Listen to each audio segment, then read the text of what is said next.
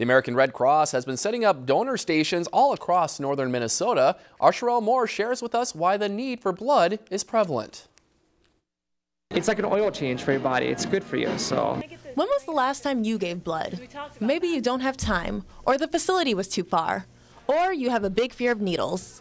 Luckily, the Red Cross is here to alleviate some of those fears. We donate every time that they come here. Um, it's nice. It's great. I like every year we do it. We have somebody come in, so it feels like we're just helping out. A lot of people encouraged to do it. So. The Red Cross has been hosting blood drives all over northern Minnesota. Today's was held in Walker at the Northern Lights Casino. The process is pretty simple, and at the end, you get a free t shirt and even some snacks. You sign up at the front. You come in, we do the health history, so that's where we do all your vitals. We take the hemoglobin to do your iron levels. You can just show up and walk up. We prefer that you sign up, and there's multiple ways you can do that. You can do that right online at redcross.org. You can just give us a call at 1 800 Red Cross, or you can download our app. That's been more and more common nowadays. Donating blood takes about an hour from the time of sign up to the time you're in the chair. And then just remember, there's never a bad time to give blood because it's always needed.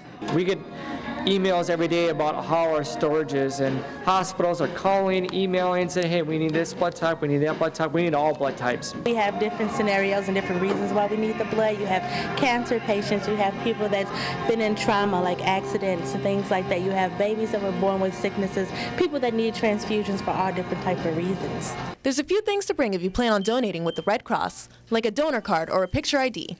You should also come hydrated and eat something beforehand.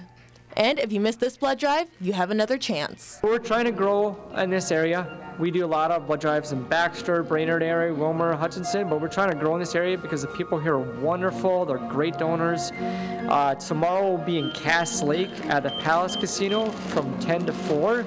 Reporting in Walker, Sherelle Moore, Lakeland News. The Red Cross is always in need of volunteers. You can sign up through their website or app.